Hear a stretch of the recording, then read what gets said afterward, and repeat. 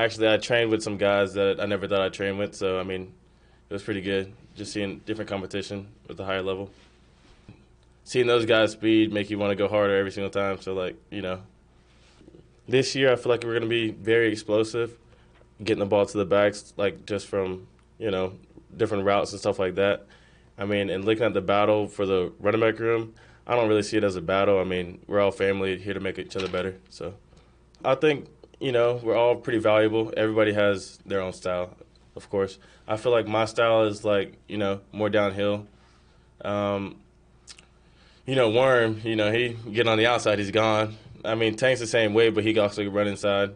And I feel like I don't know, Mark's the same ways too. Like he can run inside, and he also has speed. So.